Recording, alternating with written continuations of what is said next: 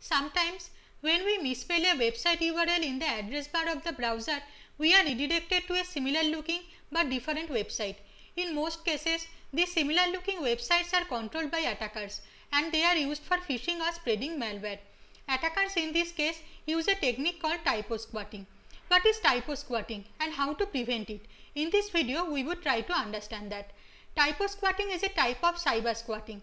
Cyber squatting is the practice of registering names, especially well-known company or brand names as internet domains for illegitimate purposes. In typo squatting, attackers usually rely on typos of users while the users type the domain name in the address bar.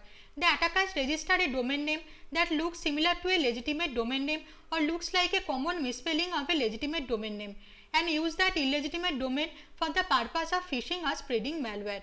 Some common examples of typo squatting are the domain names like google.com, amazon.com or apples.com.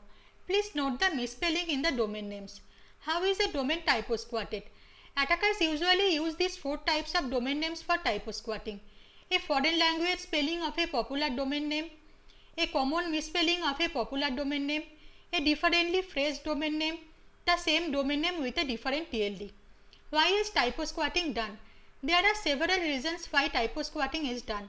When a user misspells a URL, attackers often redirect the traffic to websites controlled by attackers and earn illegitimate revenue from the traffic. Attackers sometimes redirect the traffic of a typo squatted domain to a competitor of the legitimate domain for illegitimate purposes. Attackers often try to sell the typo squatted domains to the legitimate domain owner at a higher price and earn illegitimate revenue. Attackers often use similar looking websites to perpetrate phishing scams and steal sensitive data from users. Typo squatted domains are also used to spread malware to the visitor's computer. Attackers often use drive-by downloads to download and install malware on a user's computer even when the user does not initiate any download. What is a drive-by download? We have discussed drive-by download in a previous video. Interested viewers can find the link in the description. How to prevent typo squatting?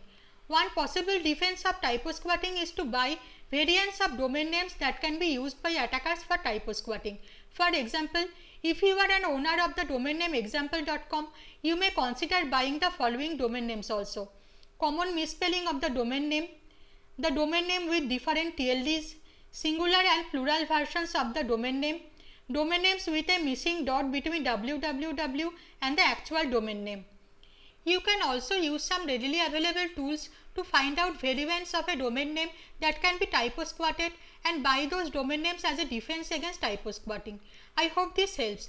Interested viewers who want to know more about typo squatting can visit the website of the security buddy. The relevant links are provided in the description.